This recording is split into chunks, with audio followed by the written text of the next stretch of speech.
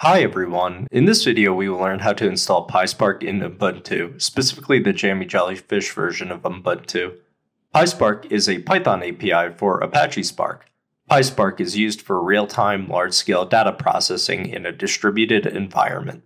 PySpark supports all of Spark's features such as Spark SQL, data frames, structured streaming, machine learning, and Spark Core.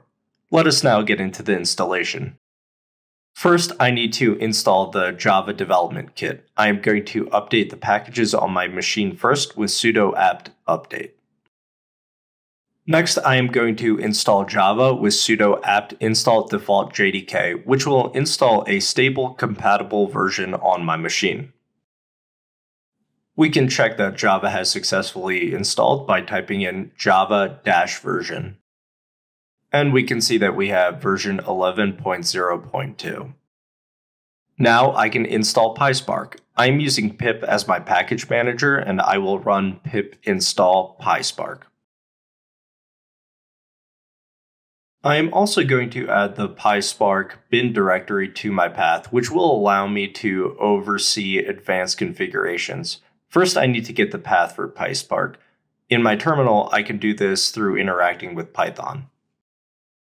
And I have the path for PySpark. I am going to take this and I am going to configure my environment variables. First, I have to set Spark home, and now I can set the path.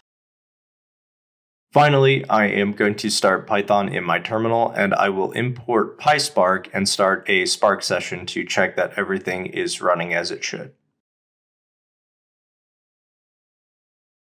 And we have successfully set up PySpark within Ubuntu. Thanks everyone for watching. I hope that this video was helpful. If you found this video helpful, feel free to like and subscribe. You can also connect with me on LinkedIn, X, GitHub, Medium, and Odysee. Thanks again everyone and happy coding.